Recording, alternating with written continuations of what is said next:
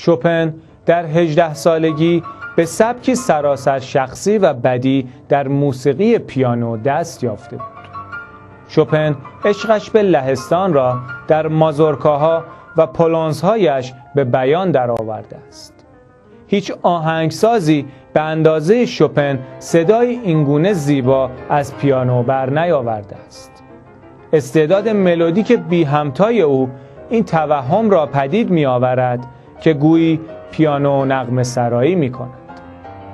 در آثار شوپن پیانیست مجال می‌یابد که با اندکی تند و کند کردن تمپو یا با تداوم یک نوت اندکی بیش از آن که به واقع در نوتنگاری اثر مشخص شده است بر تأثیر بیانی موسیقی بیافزاید و این استفاده از روباتو به موسیقی او کیفیتی شاعرانه و بداه سرایانه می‌پردازد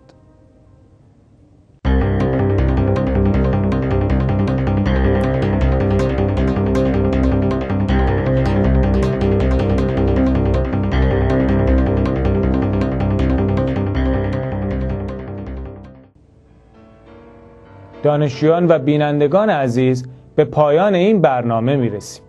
از اینکه تا پایان این برنامه با ما همراه بودید از شما سپاس گذارم. تا دیداری دیگر همه شما را به خداوند بزرگ می سپارم. خدا نگهدار.